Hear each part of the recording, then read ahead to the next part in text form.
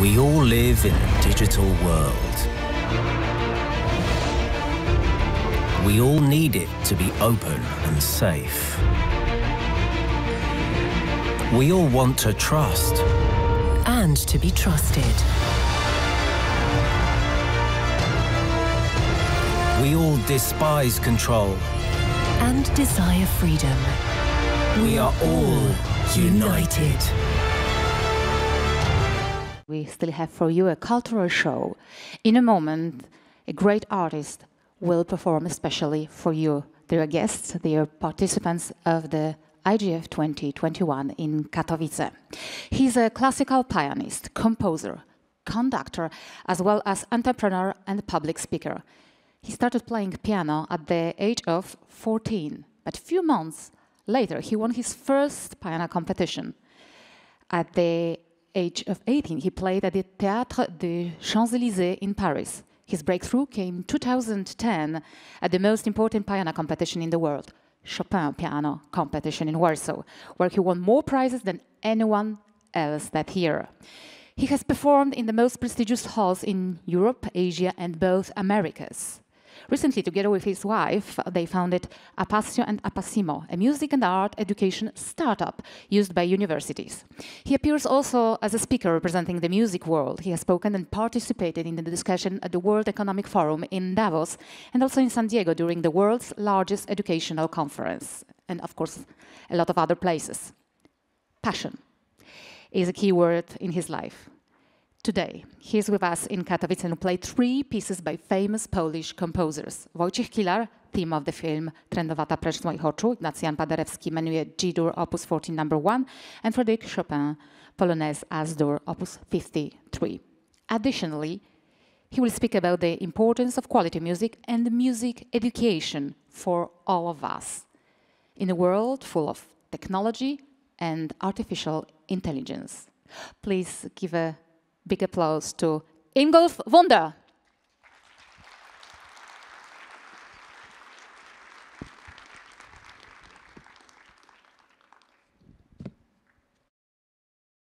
Ingolf Wunder.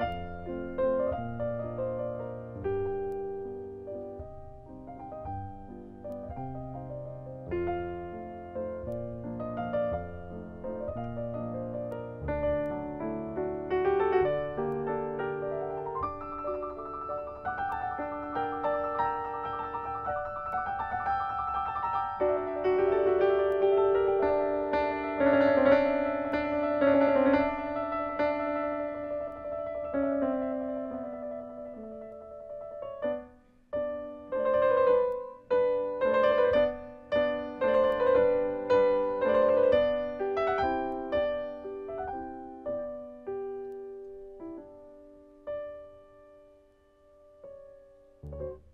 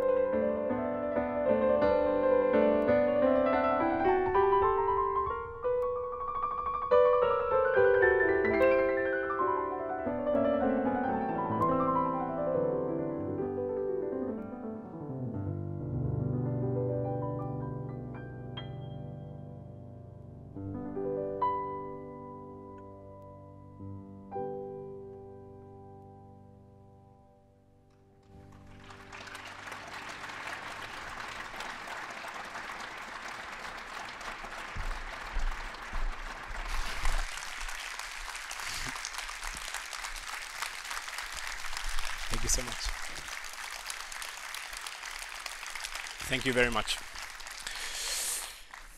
It's my huge pleasure to be here today in Poland at the IGF and to talk to such a great international crowd of people who all deeply care about digital transformation. Thank you so much for having me. Today, I would like to talk to you about the importance of music, quality music, and music education in a world full of AI. We are surrounded by technology, and we definitely live in a world of overstimulation. The smartphone became our best companion, and with the current crazy times we live through, we get even more connected to computers. I'm a musician, as you heard, but my wife and I, we also have an internet startup. I love technology, and on that journey so far, we got to know the up and downsides of technology and got to know how they can influence our human evolution. However, our tech consumption habits might change in the future. It's quite safe to assume that we go into a world where most segments of our lives will be controlled to some degree by an AI. And through these AI systems, we'll be continuously being bombarded uh, by audio video content 24 7 and in record speeds. And it's very important to know that all these streams of content that come into our brain are immediately evaluated with the two minds within us. We have the conscious mind and we have the subconscious mind. The conscious one runs on a computer equivalent speed of about 40 to 100 bits per second, which is quite decent already. But our subconscious mind runs on a mind blowing 40 to 100 million bits per second. So while your conscious brain can only focus on a few things at the same time, your subconscious mind takes in everything. So in fact, everything you have ever experienced, thought, or listened to stays to some degree in your brain. And in those streams of content, there's almost always also some music present. Music and sounds is something we simply cannot get away from. Even if you cover your ears, you still hear the sounds. But before we go deeper into the relationship of music and tech, it's important to answer this basic question. Why is music and sounds, why is that so important for us humans and for our bodies? Why is it relevant? Well, firstly, we process sound the quickest. Therefore, they shoot a pistol at the start of a 100 meter race and they don't flash you in the face with a light. Secondly, music seems to have a very direct influence on our human nervous systems. Music makes us sad, music makes us happy, music makes us think, and music makes us focus. Music seems to have all these direct influences on our body. But why does music do this? Well, this is because of frequency. music is obviously frequency. But if you zoom in on a quantum level, all of the trillions of our, of our cells are frequency too. They're waves. And if you scientifically analyze that, you see that all the information we receive has a direct biological impact on our bodies. The science around this is called epigenetics. And it tells us that what some call your personal reality, so what you thought, what you eat, what you think, this is thought, and of course what you, listen to, has a direct influence on how our DNA blueprint is being used in order to make proteins. And these proteins make up the cells, and the cells in the group are what we call us. And here's the thing billions of cells die every day and are replaced by newly created ones. And these new ones have been directly altered by your personal reality. And when I first learned about this, it, it blew my mind, almost literally. so it means that it's scientifically proven that what you listen to changes you biologically. And as a musician who became conscious of these things, I can tell you firsthand that the influence of music on our bodies and brains is absolutely profound. And what I can also tell you is that the more quality music has, the more good change it's doing within us. I'll come to this in a bit, but quality in music means it gives our body more information, more diversification, more emotional details, more shades, and so on. And all of this happens to all of us every day, no matter if you're, if you're aware of it, or no matter if you're a musician or not. So I'm asking you, if you know what you know now, that it's scientifically proven that music changes our bodies and that quality music does it better, why would you feed yourself with low quality music exactly? Low quality music means that it has less diversification, less meaning, less details and shades. In fact, low quality music can be directly compared to junk food. And unless you're a seven year old kid, you wouldn't want to eat junk food every day, would you? But in order to know what we should eat or listen to in this example, it's very important to know what quality in music actually is. And this is a very hard one because even specialists got used to saying, yeah, there are so many, you know, so many details most of it is subjective, they say. You like this, I like that. Let's agree to disagree and let the market decide about quality. Well, this is obviously a wrong strategy, but there is indeed something subjective on top of it. And this is beautiful because two people listening to the same piece of music will hear every time something slightly different every time they listen to it. This is wonderful. But underneath, there's a more objective and more important layer, which can be scientifically analyzed, measured, and passed on by human traditions. So if you take these two layers, subjective and objective, put them together, then you have roughly the overall quality of a piece of music. Unfortunately, in the second half of the 20th century, we let this overall quality of music go down quite rapidly. And unfortunately, it left a world where we have billions of people being surrounded day in and day out by low quality music. And by the way, low quality is not genre specific. There's great and bad pop music as well as great and bad classical music. And with this overall downfall of quality, we unfortunately also influenced the conscious and subconscious music understanding and sensitivity of billions of people today.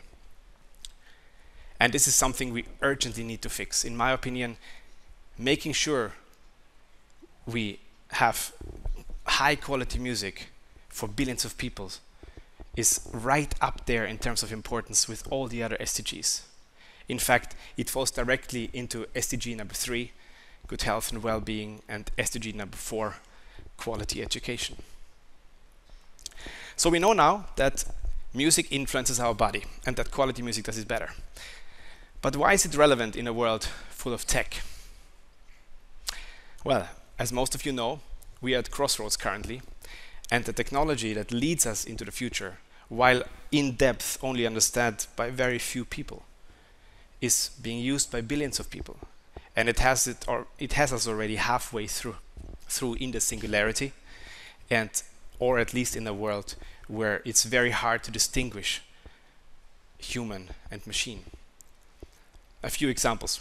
Imagine AI composing your personal music without you ever learning anything about composition.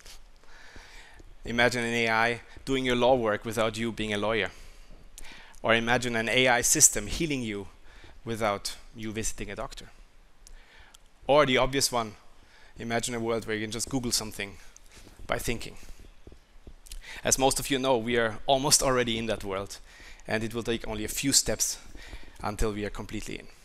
Some of us will go there voluntary, some of us involuntary. And for music, this means we have to ask ourselves questions like what is quality? I touched upon that. Who will be the judge of quality? An AI? My mood? My informed or uninformed opinion?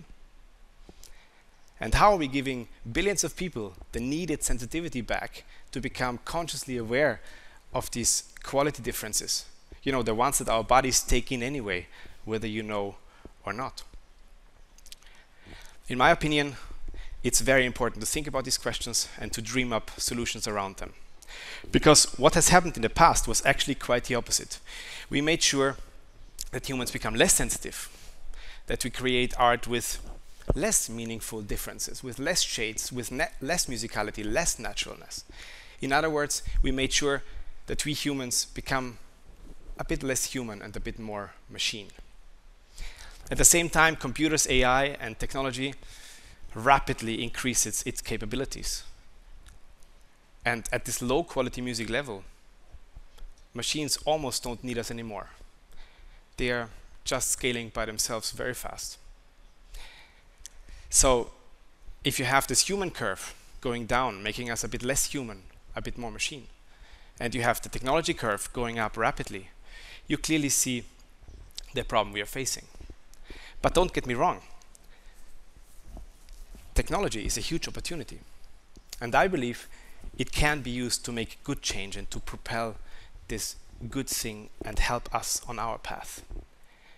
In fact, I believe we must get that right because this human fine tuning and musical quality is a layer that isn't used much or not at all in that transformation. And it leaves a world where basically only sellability and scalability decides about quality of things. And I wouldn't want my kid to grow up in a world where junk food would get the label of best quality food ever. What we should be focusing on is making us more sensitive, making us more humane in a way, and creating art and music with more subtle differences, naturalness, musicality, and teach technology to help us on that path. It's a hand-in-hand -hand process. In music, as in many other subjects, the most important questions of this century will be around ethics, quality, and value. Fortunately, there are startups like Pauline Wunders and mine that try to tackle in music exactly these things.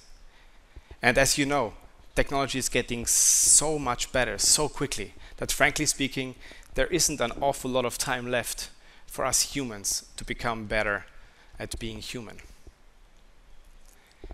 I'm very optimistic though, and especially as a musician, because I believe for all of us, this quality music factor can play a key role in that transformation.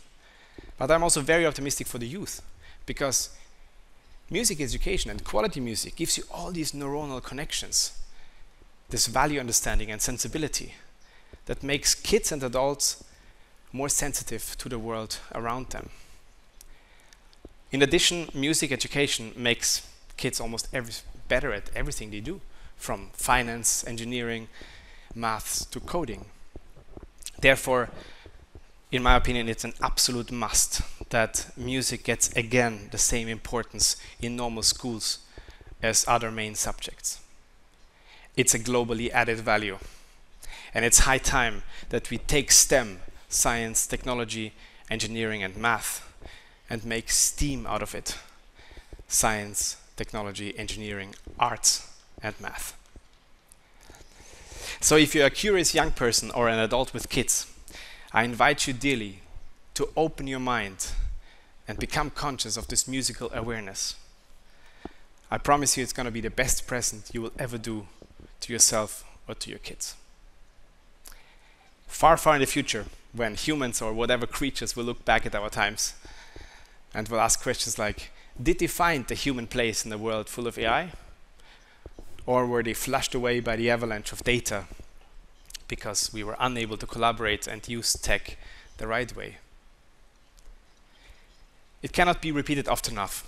It's amongst the most important things to deal with quality, value, and ethics questions in supposedly subjective fields.